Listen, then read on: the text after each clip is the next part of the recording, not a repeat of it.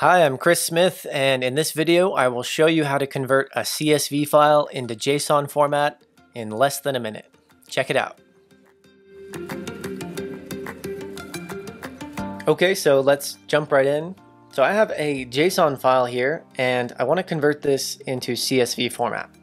So to do this, I'm going to use a utility on the retool.com page, which you can get to by going to retool.com slash utilities. On here, you'll see there's a whole bunch of utilities for transforming data and uploading it into databases and generating mock data. And what we want to do is just find the JSON tool.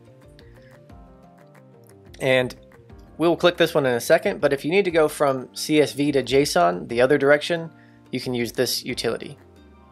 So I'll click JSON to CSV, and when this loads, I can either upload a file or I can paste it directly into this field. So I'm going to upload my JSON file here.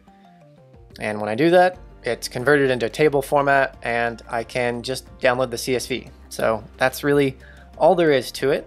And if I click that, I can open it up and see the file opens up in numbers. So I'm good to go.